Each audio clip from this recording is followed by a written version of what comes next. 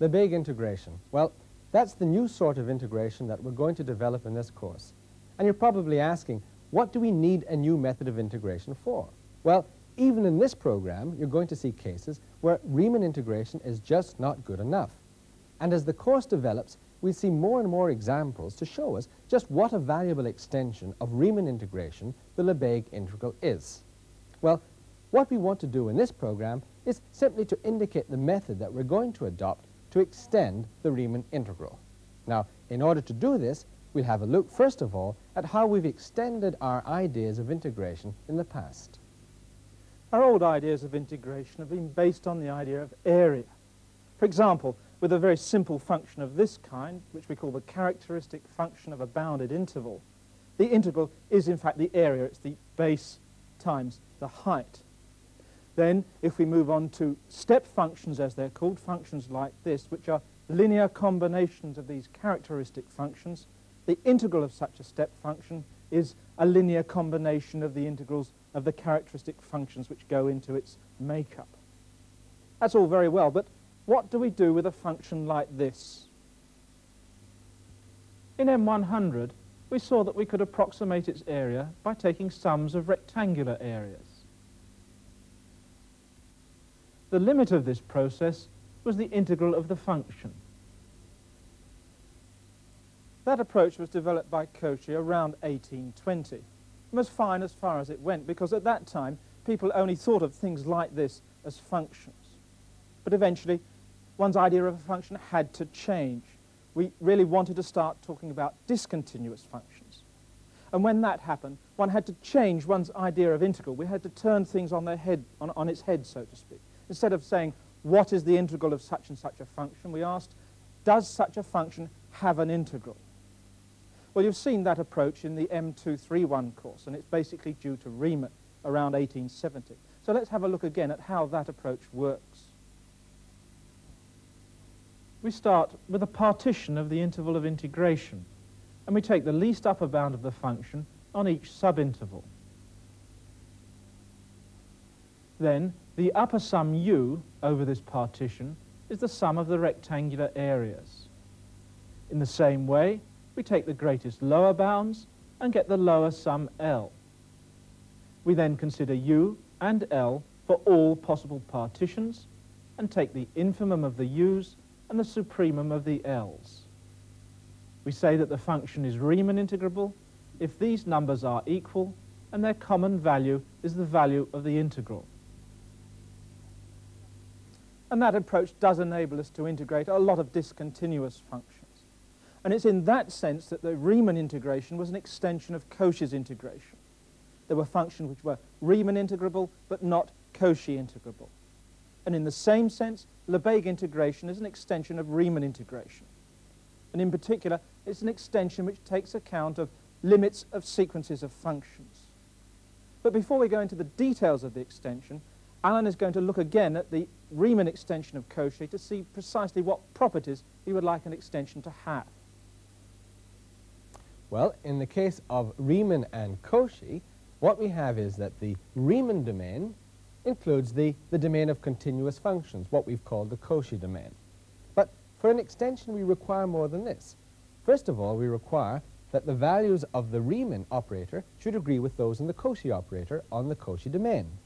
And secondly, we require that the nice properties which hold in the Cauchy domain should carry over to the Riemann domain.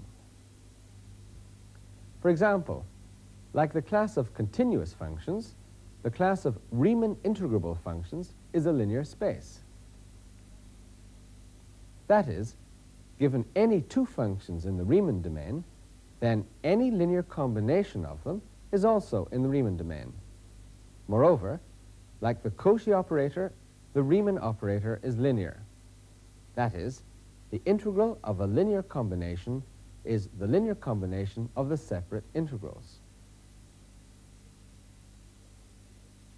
So the Lebesgue domain will contain the Riemann domain. It will be a linear vector space. The Lebesgue integral will be a linear operator. Now, what sort of functions are outside this Riemann domain? What sort of functions are not Riemann integrable?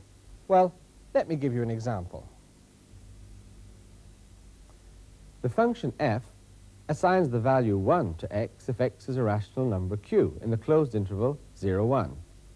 And f is 0 otherwise, that is, when x is irrational or outside the interval 0, 1. Let's try to draw the function. Outside 0, 1, f is 0. Inside 0, 1, it's equal to 1 at the rational points. For example, at the points 0 and 1, it's equal to 1. And also at the point a half. And again at one-third and two-thirds, and so on for all the rationals in the interval. But for the irrationals in the interval, it's zero.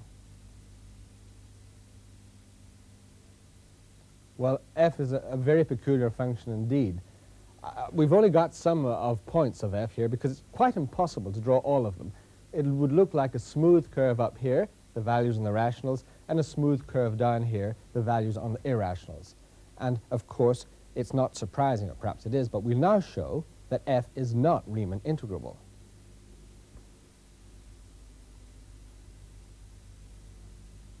Here's a partition. Let's look at the contribution to the upper and lower sum from just one of the intervals. Since the interval consists of more than one point, there must be a rational number inside it. And that's not too hard to prove. So there's a point at which the function equals 1, which is its greatest value in the interval. And so we get this contribution to the upper sum, a rectangle of height 1. But inside the interval, there must also be an irrational point. Again, not too hard to prove. So the function takes a zero value, which is its least value, in the interval.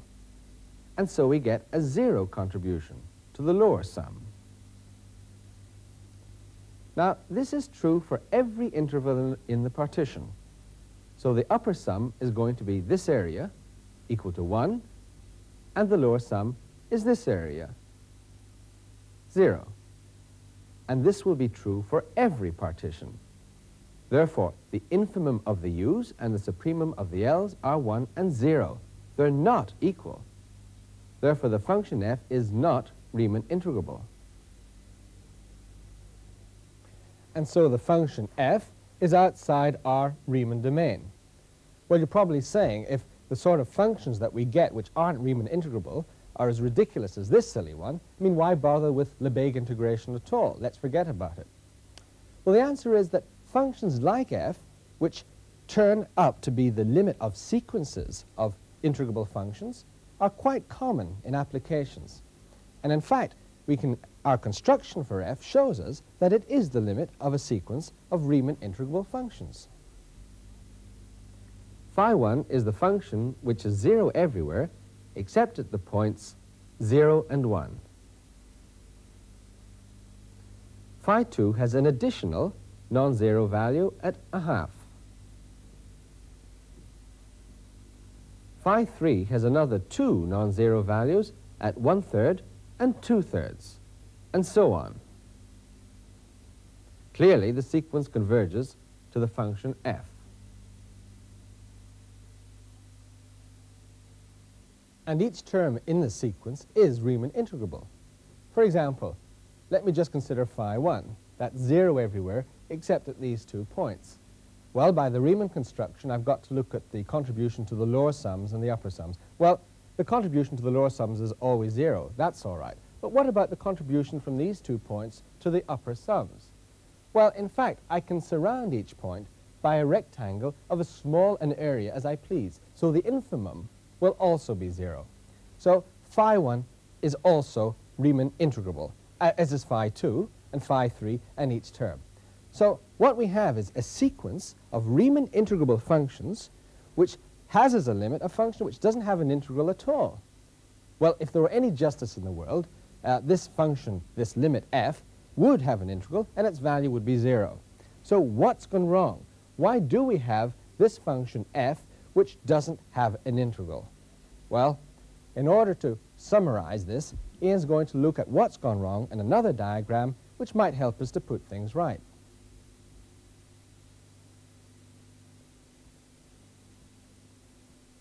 Here we've got functions on the left and real numbers on the right. And what Alan has been doing is been looking at a particular function, which was the limit of a sequence of functions. Each function in this sequence was integrable, Riemann integrable, with value 0. So over here, I, we have a sequence of zeros. This sequence converges to the limit value 0. What Alan showed was that this function we've got at the top was not Riemann integrable so that we could not go across the top of the picture, but that he suggested that we ought to be able to, and to do it in such a way that the integral of the limit was this value here. Well, our Lebesgue integration definition will do just that for us, but it won't just do it for this very specific function. It'll do it for any function whatsoever which happens to be the limit of a sequence of functions, provided each function in that sequence has an integral and provided that the sequence of integral values converges. So to recap, what is going to happen is that our Lebesgue definition of integration will enable us to go from this side here across here in such a way that the integral of the limit is the limit of the integrals. So the Lebesgue domain will contain the Riemann domain. In fact, it will strictly contain the Riemann domain because it will contain the limits of sequences just like that one. And furthermore, the Lebesgue integral will have the property that the integral of the limit will equal the limit of the integral. Well, that's quite a, perhaps a difficult thing to achieve. Now, how did Lebesgue and, and other people achieve this? Well, they did it in a very cunning way. What they actually did was define the integral of the limit of this sequence by equal equaling the limit of that sequence of integrals. They got that property to hold by dogma, by definition. Well, that's a very neat trick. But how are we going to make it work practically? Well, for the thing to work, we need a couple of uh, things. First of all, we need that we can define the integral of these functions phi n. So the best thing to do is to take something simple for them, step functions. So we define the phi n as being a sequence of step functions. And secondly, we want that the sequence of real numbers here does have a limit. Well, we can guarantee that if we have an increasing sequence of reals which is bounded above, because we know that has a limit. How do we get an increasing sequence of reals? We can get that by asking for an increasing sequence of step functions. If phi 2 is greater than or equal to phi 1 at each point, then the integral of phi 2 will be greater than or equal to the integral of phi 1. So we take an increasing sequence of step functions, and that gives us an increasing sequence of reals, and we get that sequence to be bounded by imposing the conditions separately. So this is what our definition would be.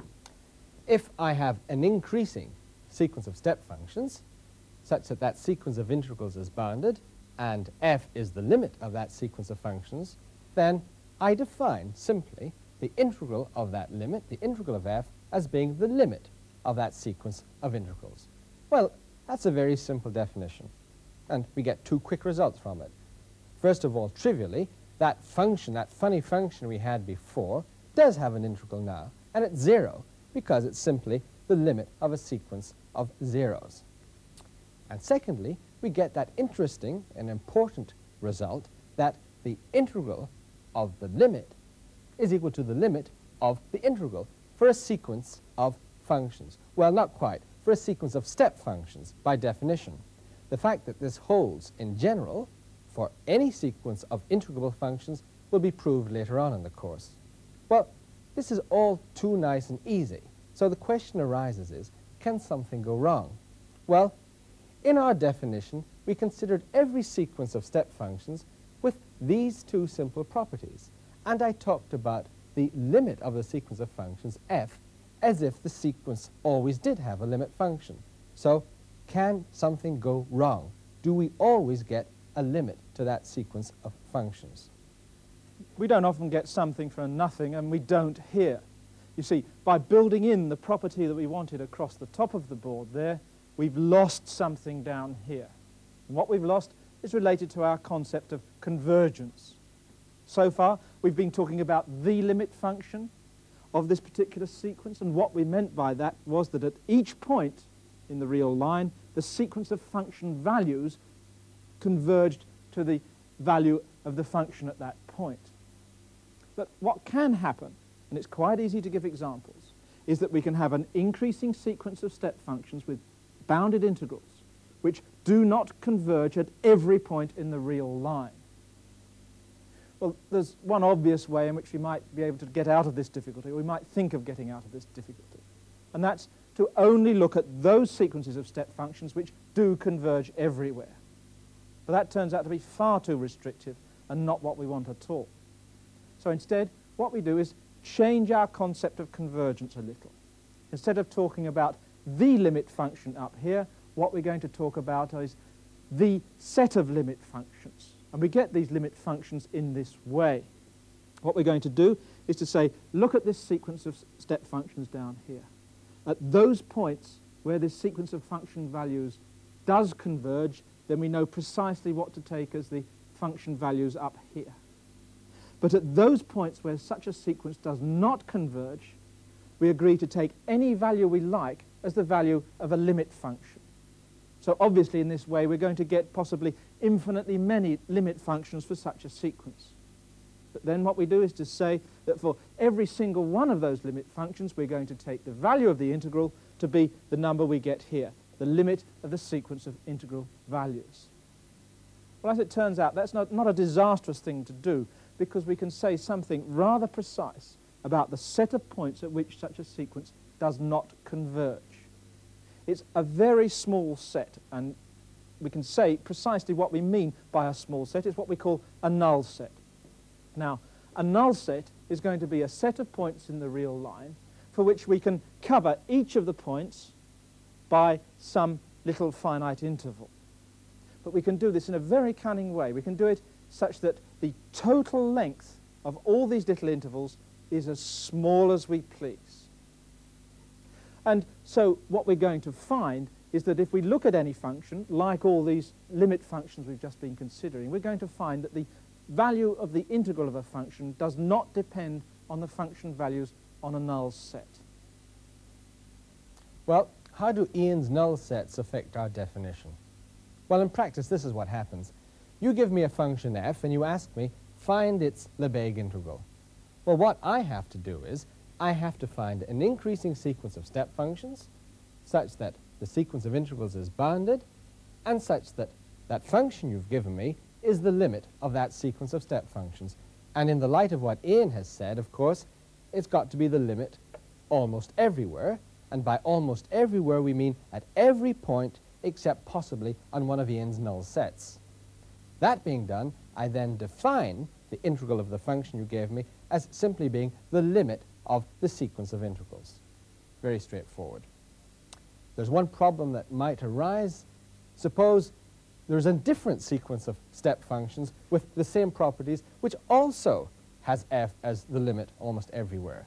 Will that give me a different value for the integral? Is this definition of the Lebesgue integral consistent? Well, that's a crucial theorem, and we prove it later, but the answer is yes, it is. This is a consistent definition. Well, the set of all functions that I can obtain this way, that is, that I can approximate by an increasing sequence of step functions with this property, is called L-inc, inc meaning increasing. Though it's not quite the whole of the Lebesgue domain yet, in fact, we're three-quarters of the way there. This is the third stage in a four-stage process that we use for defining the domain of the Lebesgue integral operator. Well, what are all these stages? Well, the point is that we are not going to use the Riemann definition of integration directly to give us our Lebesgue definition. Rather, we're going to go right back to the beginning, so to speak, and build up our Lebesgue definition constructively. So that the first stage we're going to look at is to look at functions like this, the characteristic functions of bounded intervals. And for those, we define the integral to be base times height. At the second stage, we're going to look at step functions. That is, functions which are linear combinations of characteristic functions of bounded intervals.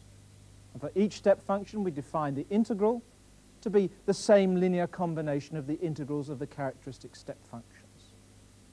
Then we go on to our third stage, and that's the stage we've been spending a little time here talking about, and the stage at which you're going to see quite a bit in the course units. That's when we go from step functions to L-inc. Now, L-inc consists of all those functions which are the limit almost everywhere, that is, except on a null set, of an increasing sequence of step functions with bounded integrals. And the integral of every function in L-inc will be the limit of the sequence of integral values. But why do we need a fourth stage? Well, the point is that we wanted our Lebesgue domain to be a vector space, much like the Riemann domain. But L-inc is not a vector space. It is not closed with respect to taking all possible linear combinations. So we want the vector space spanned by L-inc. And we get that by considering the set of all those functions which are the difference of two functions in L-inc. And we define the integral of such a function to be the difference of the integrals. And that set of functions we call L1, and that is the domain of the Lebesgue integration operator. Well, that's a very brief and I hope useful trip through the basic stages in the construction of the Lebesgue integral. But of course, there's a lot more to the details, and these details you'll be seeing throughout the weeks to come. But what we want to leave you with here is the impression, the fact that there are four stages in the construction of this integral. These four stages occur not only in the definition of the integral, but in many of the proofs of the theorems that you'll be seeing. And so, to emphasize once again the importance of these four stages, we want to leave you with this reminder.